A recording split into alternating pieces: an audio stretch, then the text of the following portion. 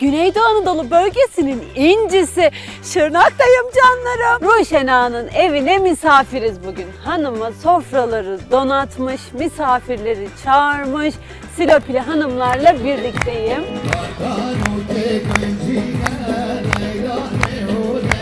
Gıyabında tanıyanlar böyle bir şaşırıyorlar. İsmen tanıyorlar. Görünce de şaşırıyorlar. Ben de Ruşen Ağa davet etti Bahar Hanım gidelim dediklerinde ben de vallahi böyle hani şey. Erol Taş gibi bir adam.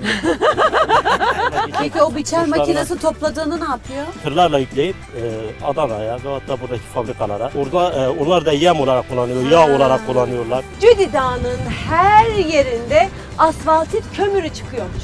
Burada önemli bir geçim kaynağı. Şu anda kömür ocaklarındayım. Silopi'de hanımlara çat kapı misafiriz. Hanımları tam da ekmek yaparken yakaladık. Bahar Kapı'da yeni bölümüyle bu akşam Kanal 7'de.